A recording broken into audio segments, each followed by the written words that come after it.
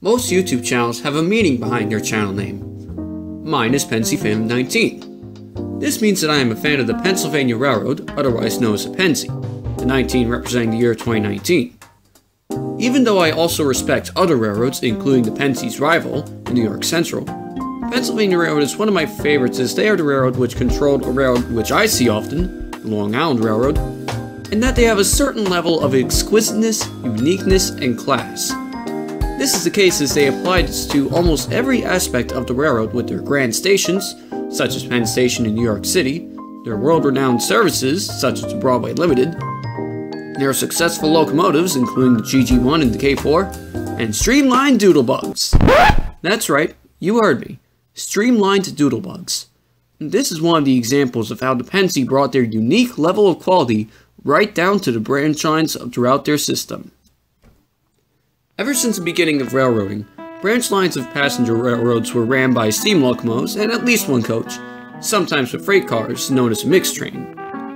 As time went on, however, especially beginning in the early 1900s, railroads ordered self-propelled rail cars which would carry an appropriate amount of passengers and freight if needed, while freeing up needed locomotives and passenger cars to serve busier main lines. With increasing orders of self-propelled rail cars efficiently serving the branch lines of the nation, the Pennsylvania Railroad was no exception to this trend, as the Pennsy quickly ordered rail cars, otherwise known as doodlebugs, to serve their branch lines across their expansive system. Certain doodlebug manufacturers at the time included McKeen Motor Car Company, Brill, and EMC, who later added the Pullman Coach Company to produce them.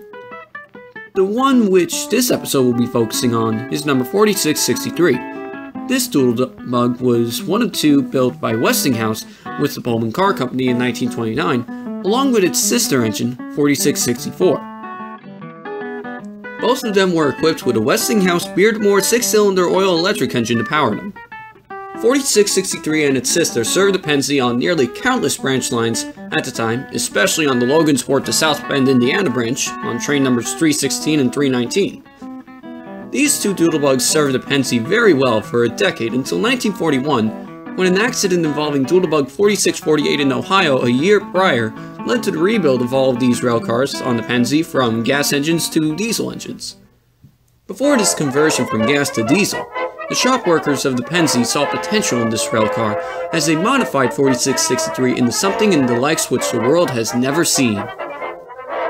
After a rebuild of this railcar, it came out streamlined, an honor only given to mainline express locomotives at the time, as it was the only Doodlebug which the Pennsy rostered which was streamlined, and one of the few streamlined Doodlebugs in the world. It was later refitted with a Hamilton 68 SA engine in 1944 and continued to serve the branch lines of the system to passengers with the new shovel nose design on its front. This railcar was later spotted on the Grand Rapids and Muskegon local and was given safety stripes on the front later on. However, starting at the end of World War II, right when the Pennsy and other railroads expected a boom in passenger service, most Americans wanted to drive off to suburbia in their new car as passenger train service started a decades-long decline, which ruined the railroads of America, and was further injured by the construction of highways across the nation which drained passenger trains of their passengers.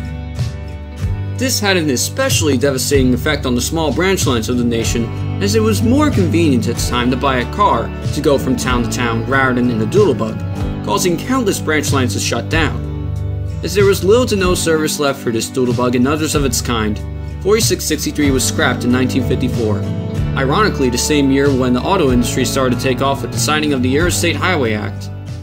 Thankfully, its memory is still kept alive through the use of photographs of 4663 in its original and streamlined form, as well as the preservation of other Pennsylvania Railroad doodlebugs to show how life usually was on the branch lines of the Pennsylvania Railroad.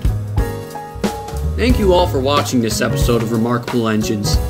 This series does not necessarily go over locomotives which are famous in railroading, or all the engines in one railroad, but rather specific underrated engines, which this series brings more light upon, and 4663 is no exception, as it is the only streamlined doodlebug rostered on my favorite fallen flag railroad.